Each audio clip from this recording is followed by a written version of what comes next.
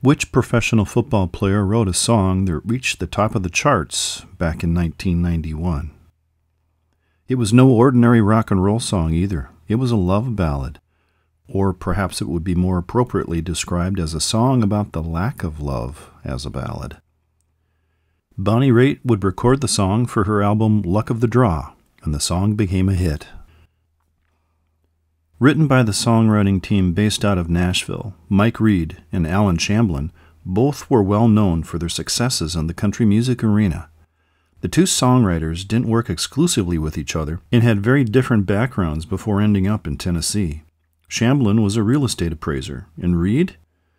Well, Mike Reid was a defensive lineman who spent five seasons with the Cincinnati Bengals in the National Football League, earning multiple trips to the Pro Bowl before retiring in 1974.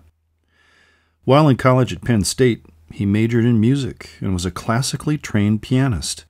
After leaving the NFL, Reid focused on his music, both performing and as a writer, providing songs for artists Ronnie Milsap, Tanya Tucker, Alabama, and Conway Twitty, to name a few. When Bonnie recorded the song, Bruce Hornsby provided the piano accompaniment, and when released as a single, it became an audience favorite. Raitt said in a 2002 NPR interview, I love that song, and so does the audience. So it's almost a sacred moment when you share that, the depth of pain with your audience, because they get really quiet, and I have to summon some other place in order to honor that space.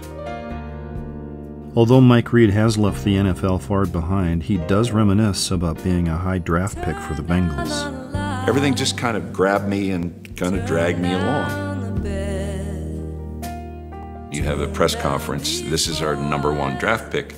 They had a grand piano there. So it was the, probably the only time in the history of the NFL that a draft pick at his pre first press conference played the piano. I think I played a Chopin prelude or something, you know.